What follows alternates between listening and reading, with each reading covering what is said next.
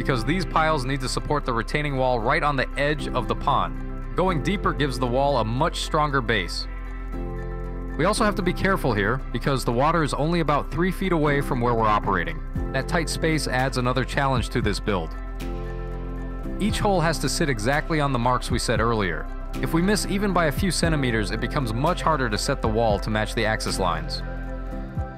So before each hole, we flatten the surface with a shovel just to give the drill a stable start.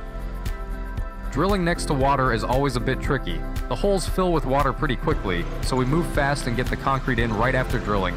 These piles already have some water sitting at the bottom, but the concrete will push it out as we pour.